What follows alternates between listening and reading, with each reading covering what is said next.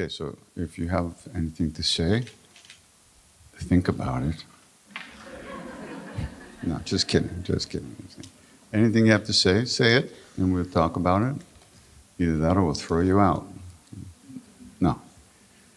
Um, you know, yeah, okay, just let me bullshit a little bit first, okay?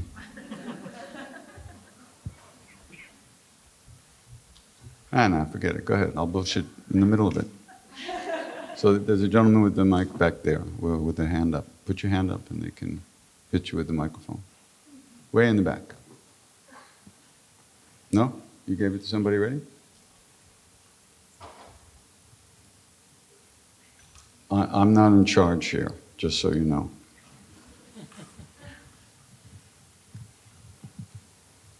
Yep.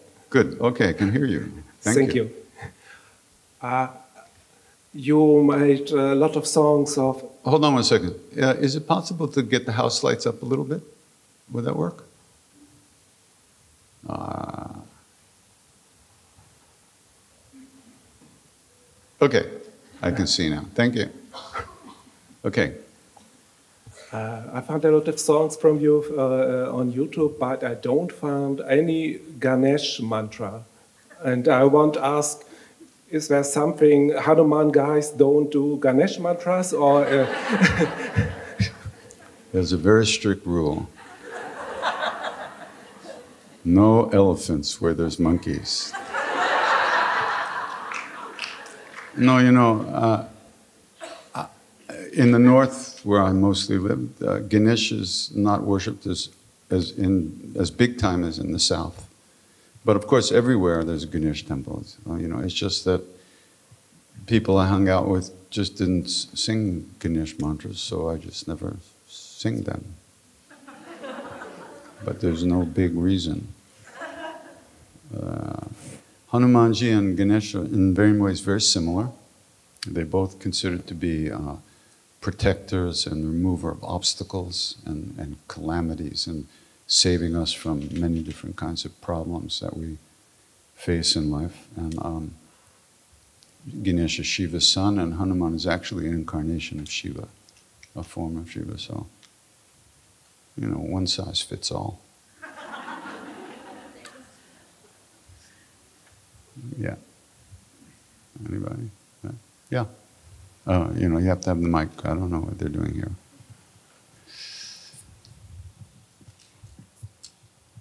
First off, thank you so much for being here this evening and for doing this. My question to you is about Maharaji and your relationship to him at this point in your life. Do you still feel him? Do you still dream of him? How do you receive his guidance now?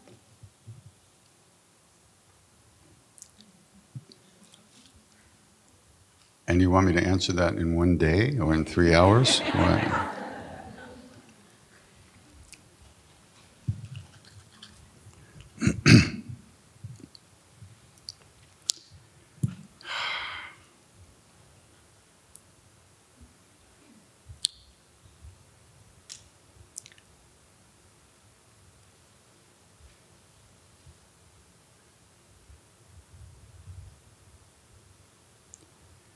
Well, um,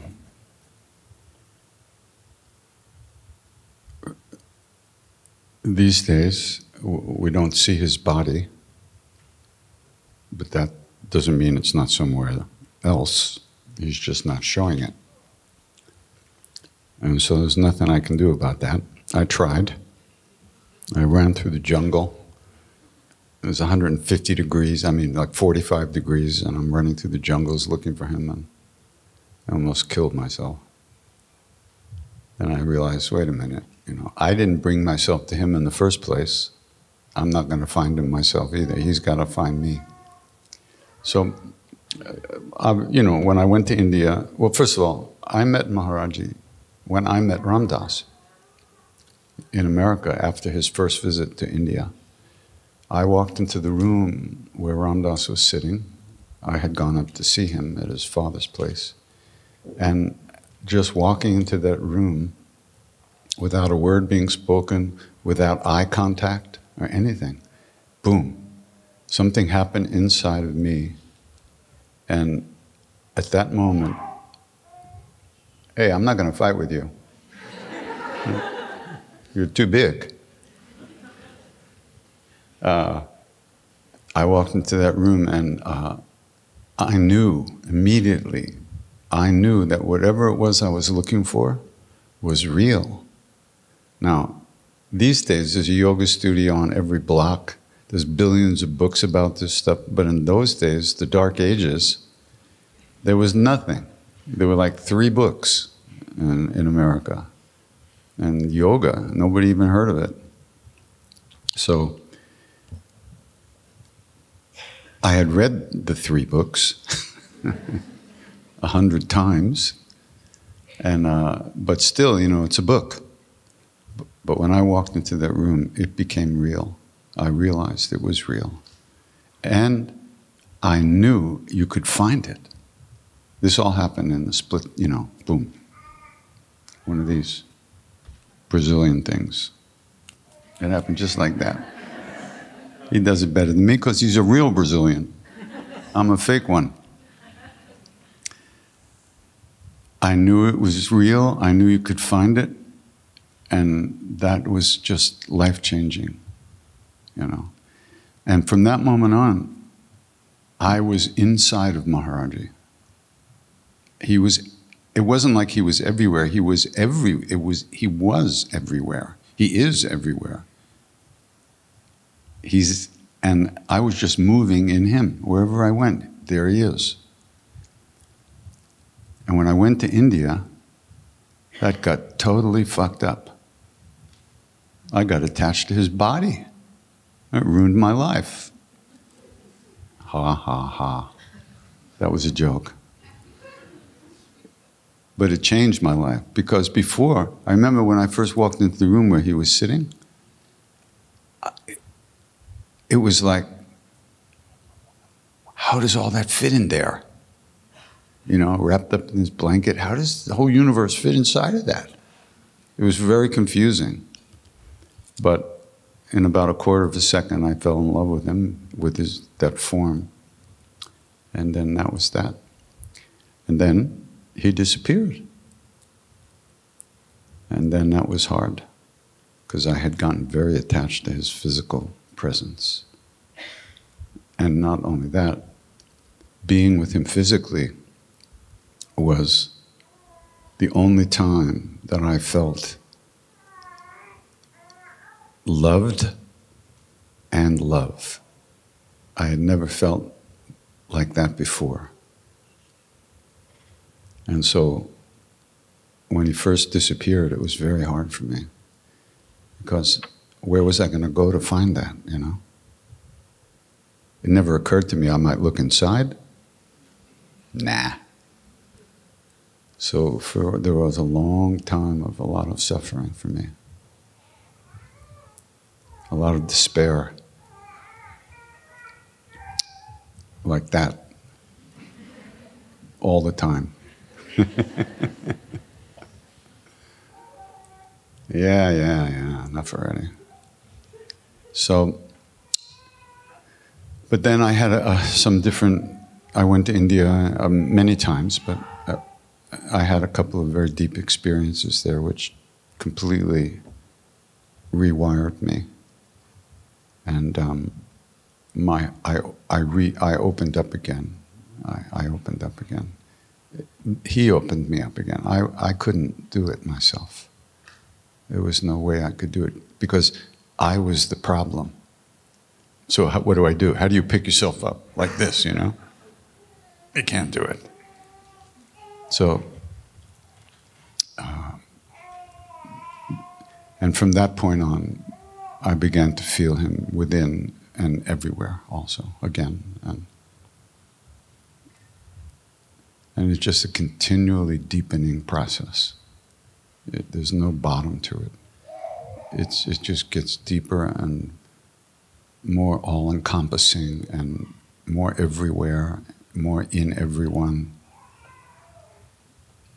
as much as I let it. But I'm really stubborn, so I don't let it that much. but I do. So, and you know, you understand these great beings. They don't think they're their, that they are their bodies. These are they inhabit that vehicle for the sake of the devotees, for the sake of the people who need to see something like that. If you don't need it, if it's not the right thing, you won't run into a body like that. Because that's the other thing.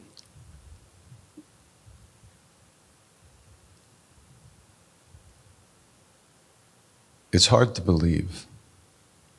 And I'm not sure if I really believe it myself totally. But this world, the universe, the, the, the, the, deepest quality of this universe is love and compassion. It doesn't seem like that when you read the papers. But everything that happens here is for our sake, is to help us grow, help us learn, help us open, help us find deeper reality.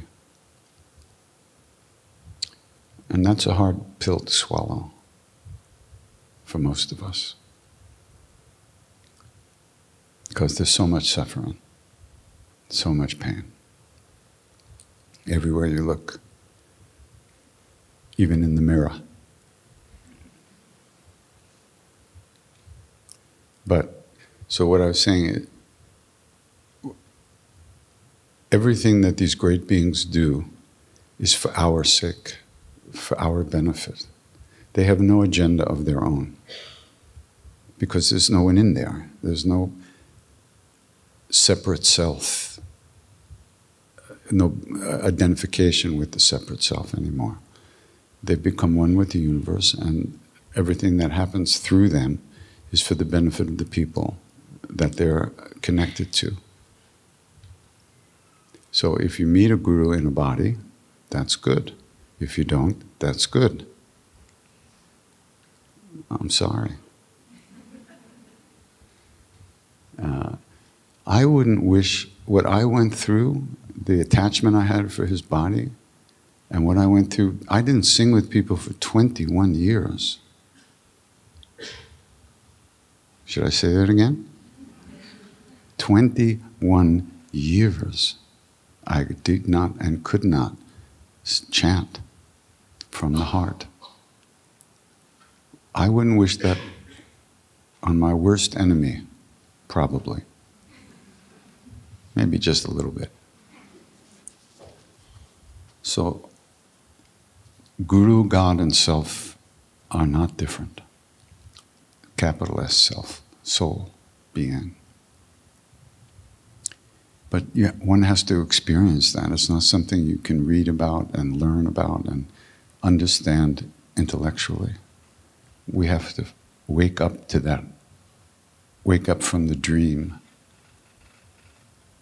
that we're in right now.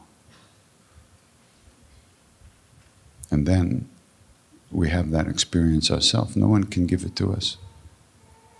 No one can. We have to. The, light can be, the, the path can be shown to us, but we have to walk it. So for me, he's the path, he's the goal, he's the whole thing. Most of the time. Sometimes at three o'clock when I'm channel surfing, you know, I'd rather watch TV, but even then, He's there. All I have to do is look, remember.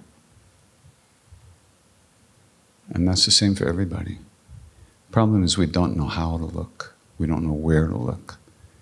Even if we want to look, we don't know how to do that. But if you want it, it'll come. For sure. And in fact, as much as we want it, it's already here. We could say we want this, we want that, we want that. Oh, I want God, I love God so much. You know, can I have another burger, please? You know, a veggie burger. We, we say we, we think we want things, but we, we want a lot of things. We think we want love, but we, we'll settle for pleasure most of the time. Love and pleasure are two different things. Happiness and pleasure are two different things. So, and you know, when we got, we got to India, we, didn't know about the culture. How do you do this? How do you, how, how do you go from here to there? How do you, how do you, so we watched the Indian people, uh, how they related to Maharaji, how they, what they did, you know. And one guy in the group was really smart.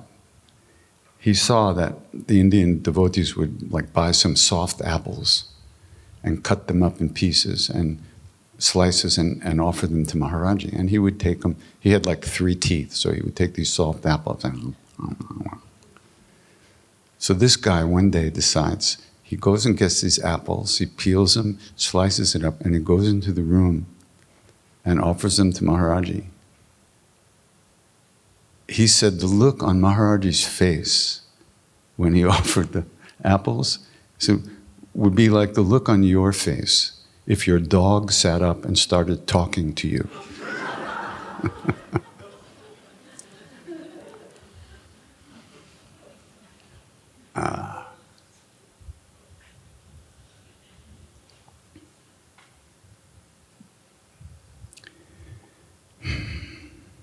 But you know, I had to get over a lot of stuff. I had to go through a lot of stuff. Still go through it. Because it's only our stuff. When I started chanting with people, which was like in, when was it? 1994, I think, originally. It was because I had this epiphany in my room that if I did not start, if I did not sing with people, I would never be able to clean out the dark shadows in my own heart. And the understanding was very clear that it was only, the suffering was only because of those shadows, those dark corners that I didn't want to deal with, that were pushing me around.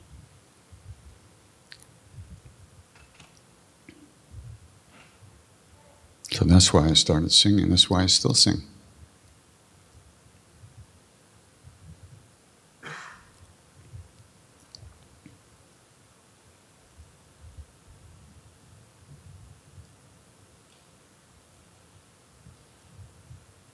And Hanuman Chalisa, which I sing all the time. You know, we, we came to the temple from the nearby town every day. And every time we came into the temple, we were given this little yellow booklet with a picture of a flying monkey on it. I had a hundred of those booklets in my room back at the hotel when one day I said to the guy who was giving it to me, I said, Oh, uh, by the way, what is this? Hello. He said, Oh, this is a, it's a prayer to Hanumanji. Oh, really? So then I thought, okay, if we learn this, we could sing it to Maharaji. Because we knew secretly he wanted to spend more time with the Westerners. We wanted to help him. So, uh, we actually that summer, that rainy season, we got sent away to the further into the mountains because Ram Dass had arranged for this Buddhist meditation teacher to come up and spend like three months with us up in the mountains, and we were just going to meditate our asses off, you know. And it turns out he couldn't come, so Maharaj just sent us up anyway, you know. And we stayed. At we were like, you know, all summer we were like four hours away from them. Go, what? Anyway, so while we were there, me and this other guy, we went through the, the Chalisa letter by letter. We didn't speak Hindi. We had to learn the alphabet, the letters, yeah, how to do that. And then we transliterated it, wrote it all out. Somebody taught us a melody. And when we came back, we, um, we decided we were going to surprise him. Right. He who knows everything. We were going to surprise him. So we arranged like on a Tuesday, which is Hanuman's Day, we were going to get, we got 80 pounds of laddus delivered to the temple. We had all these fancy metal plates and the arti lamps and the whole thing.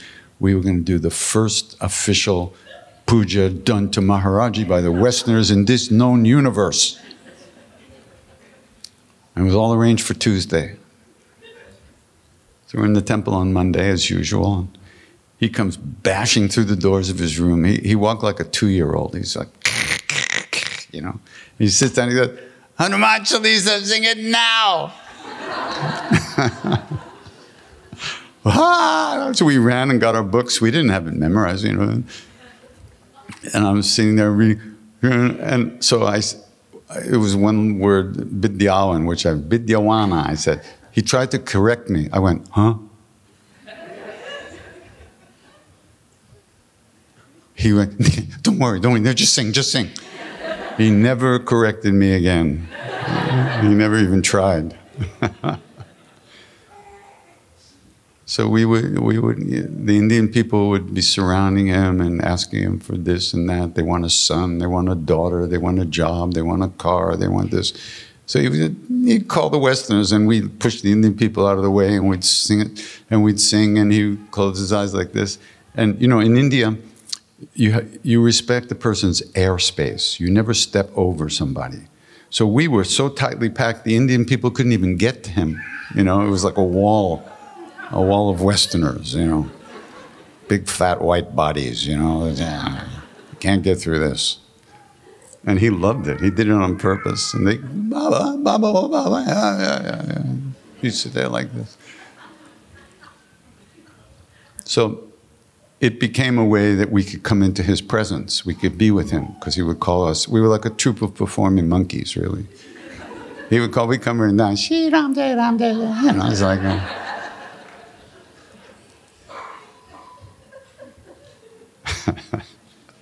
but as it turned out, of course, he, he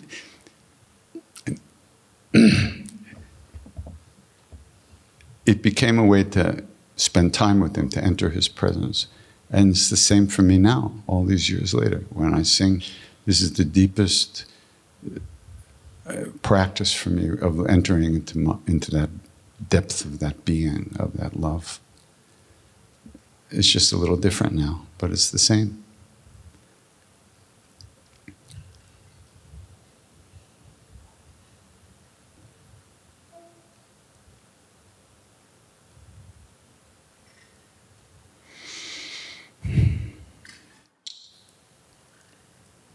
Next victim.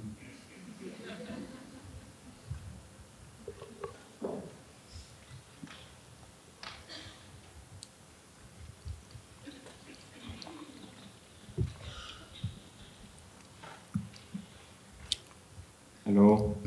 Hello. You can sit down, you know, I'm sitting down.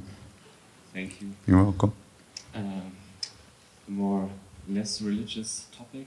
Um, um, wanted to ask something about. Wait a second, we haven't said anything about religion. Okay.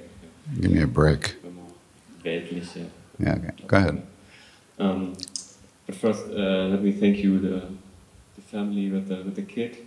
Um, I'm very, thank you very much. Um, during the chanting, I was reminded of my own kids, and I felt this uh, a lot of love, and um, yeah, it's just really, really great to to have have a kid around here as well. And also, I need to share this. My uh, today I saw the first ultrasound picture of my uh, new kid. Um, my wife is carrying right now, and I'm not allowed to tell anybody, so um, she's not here right now. Please don't. so, um, I'm just full of uh, love. I need to say that. But my question, so sorry. Um, I have a hard time. Um, I wonder how you do this. Um, it's about money, and I wonder how you charge people, not you especially, not you specifically, but like in general, how do you charge people for something you offer? Because I feel like I have a lot to give and to offer, but I can't charge the people.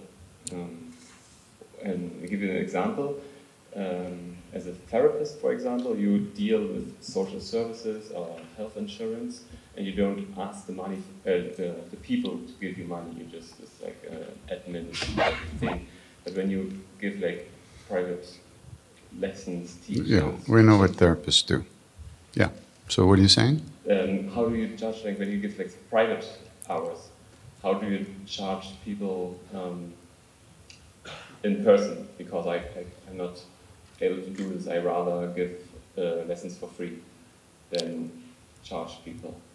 You'd, you'd rather give it for free. Yes, Oh, you have a baby coming? yes, yeah. I know. I'm, a, I'm in a very. You're going to give the baby away or you're going to feed him? No, that's that's the thing. It's not. It's not about that. It's more. Like, No, it is about that. You have a, you have a, this is the West, and in the West, money comes from working. It's an exchange of services many times. Money is just energy in a certain form, and you are providing a service for someone, helping someone, and they can help you pay feed your baby. Um, there's nothing wrong with that. In India, it's a little different sadhus walk around and they, people give them food. You know, uh, it's a tradition that's thousands of years old. We don't have Western culture is not thousands of years old. In the West, money is is is an, is a type of energy that's exchanged between people, and um, you don't feel that you want to charge for your services. Is that what you said? Yeah. Um, I'm not a therapist, so I can't talk to you about why you feel that way. I wonder why. If you're helping somebody, you have to live too, you know, don't you? For instance, if if you wanted me to come to Germany, uh, and there was no money involved, I would have to get a little rowboat and I put my harmonium in the rowboat and try to row across the ocean to get here. And then I'd have to walk from maybe Amsterdam. So it would be like 40 years after you invited me that I got here. So that's kind of why this is the way it is. I, you know, it's funny. Um, I had, a, I felt kind of like you do at one point. You know, first of all, Maharaji gave everything away, everything. I mean, you know, his devotees, certain devo- he wouldn't take money from. He never took money from the Westerners. Actually, some one of the Westerners had. We didn't have any, but few of the Westerners had some money, and one of them kept trying to make a donation, and Maharaji said, "Nay, nay, nay." And finally, he said, "Why are you trying to give me this little bit of money, like a thousand dollars? Was a lot of money at the time." He said, All the money in the universe is mine, even the money in America. So, but um, I don't remember what I was saying.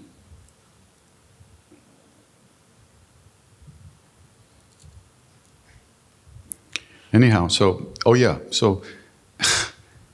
So I had this idea. I'm not going to. I want to sing with people. I'm not going to charge. I don't want to charge for it. Maharaji give everything away. I want to give it away. Uh, so I thought, okay, then I need to make money first in a different way. so I made a lot of money, but I didn't start singing with people until I didn't have the money to take a taxi cab downtown. Every cent that I made disappeared before I started singing with people. And looking back on it, I could see, I can see very clearly that I was deluded.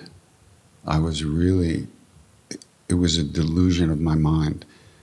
That whole feeling, it wasn't dealing with reality as it is, with the world as it is. Not reality, but the world. So I had to learn how to. But when I started singing with people, I sang down at Jivamukti every Monday night for free. But like I just told you, then I got invited to California. Well, come out and sing um, at our place. Well, it's a long walk.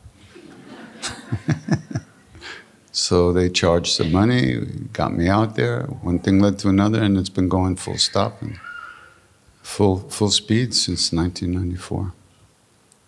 It Just happened this way. So I don't know. I'm not sure what you feel about yourself and why maybe you don't feel worthy of of of uh, that kind of exchange with people. Maybe you don't feel that you deserve to have certain things in life. I don't know. You have to think about that. Because if you don't feed your kid, that's a problem. Good luck. Thank you. You're welcome.